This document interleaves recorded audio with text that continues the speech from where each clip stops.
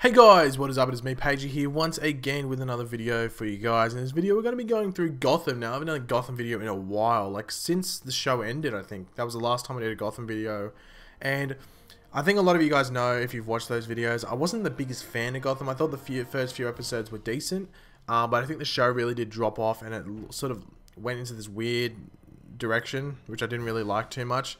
Um, I do think the villains are sort of too forced on, but they've already started it, so they may as well try and complete it and just keep going with it because they've, they've started, they can't just like drop off it. So the show's going this direction, you may as well embrace it. Honestly, I was thinking about stop watching, uh, I was going to stop watch it, uh, but stop watching it. That's the correct. I don't know what was going on there, but yeah, stop watching it. But I'm gonna keep watching it just because it's Batman, Batman orientated at least.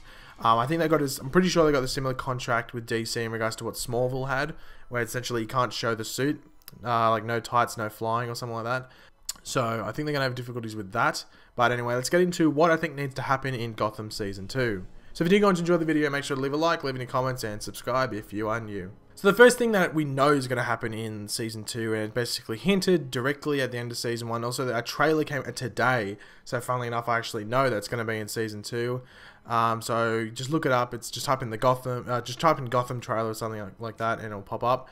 And that is the Batcave. So I don't think the Batcave is going to be as technical, uh, technologically um, advanced as it usually is, or it's not going to be like all platformed and stuff like that. I think it's literally going to be a cave, just by the sounds of it. Now, in that trailer, it does show a door with actually like a security pad, like a number pad, like digital. So at least it's got that on it. So it might have some other stuff inside, but it's going to be interesting to see what's in this cave. Um, I don't think it's going to be unbelievably advanced, but I will think it, it will give Bruce some form of direction as to where he should go. And I think it's also the, the only good thing about this is I think it's a good direction that Bruce actually discovers the cave at the age that he is because at least it gives him that uh, push to want to become the caped crusader and actually you know fight crime. Next up is that we know that uh, they've given away that Bruce Will will start training in this season. Now, we sort of did last season with Alfred, sort of like wanted to protect himself. So that's already they've already started the training essentially. But I think more more might be in both the detective side as well as the physical side. Now, obviously, we know that Batman is technically the world's greatest detective, or well, at least that's the road that they used to go with him. So I think they will go down that road as well, like improving his detective skills, but along with also him being able to take pain as well as give it. So martial arts training and stuff like that. But the only issue is that he's the character is still young, so a lot of people might be like not the biggest fan of it. Especially people that maybe aren't too into the Batman thing, they might just watch it because of the story. Uh, but I think they will go along down this road, uh, sort of teaching him to take the pain as well as dish it out. Now, at the end of season one, uh, Fish Mooney apparently died. Now, I think she is dead. I think we said this before in previous videos because, um, what's her name? Jada Pinkett Smith um, didn't sign another season, and she wasn't at Comic Con or anything like that because obviously that would ruin the story if she was at Comic Con. So Penguin is going to be the top dog for now. We saw him in a trailer talking to Jim Gordon. His hair looked a bit different, uh, like not, not like the color or anything, but just looked like style differently than he usually has it. But whatever. Penguin's going to be the top dog, but I think it's going to be. I've said this before. I think in season two, Penguin's going to have like a rise and then a fall. I think at the end of the season, he'll fall again and possibly end at the uh, end at the bottom. Sorry, like it might be a mutiny against him with his henchmen and other forces below him, or maybe he just meets another um, villain and they just take him down. Now, one interesting thing about Penguin is that when Batman is actually in Gotham City, so when Batman's actually Batman, um, Penguin was sort of the dude you wanted to go through if you needed like firearm, like guns essentially, or like explosives or anything like that. So I think in season two they need to introduce that business side of him in regards to this stuff. So um, seeing there's no Maroni or Falcone in the show anymore to stop him, I think he, that's where they'll go, and he has like sort of like free reign, and there's no one really competing with him. Another thing that we need to see them do in season two is introduce original villains. Now we saw some of these throughout the season. Some of them were really silly, um, but the big one was Fish Mooney. Now, Fish Mooney, I didn't really, I just don't really like Jada Pinkett Smith that much. Like, hate on me if you want. I just don't really like. I just didn't really like the character that much. But I guess you're not really meant to like the villain. So I really wanted to see her die or something happen to her.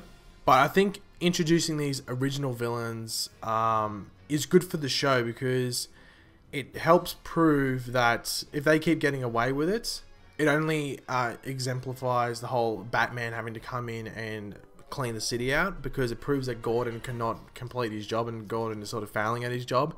Not only with the original villains, but mainly the Batman villains. If the original villains are the ones that Gordon has to take out and he can't deal with the Batman villains, it sort of proves that Batman has to exist in that city to um, to sort of fight against these actual big villains. And also, I think it's silly if I've said this before how in season one they sort of like push the villain, like the big villain, like Riddler and Catwoman and stuff like that, and Two Face and Penguin.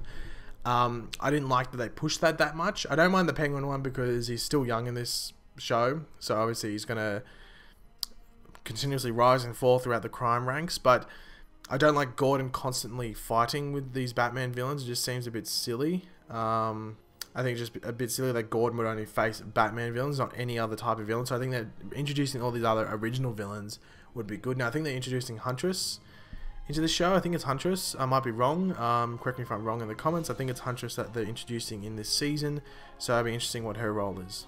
Next up is that I think they need to make Gotham much, much darker than it is. Now, it is still the dark um, city in the show, but it's not Gotham as we should see it. Um, I don't know if it's something to do with lighting. I don't know if they just can't be bothered making it dark.